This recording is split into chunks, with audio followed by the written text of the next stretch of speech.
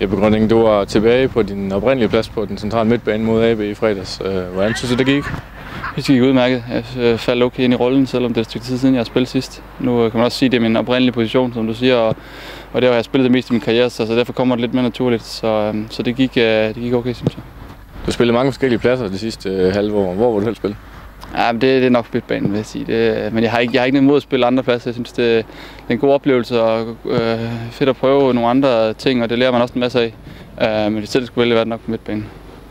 De medrejsende fans de var meget begejstrede for din indsats derovre. Øh, hvad synes du om deres indsats på tribunen?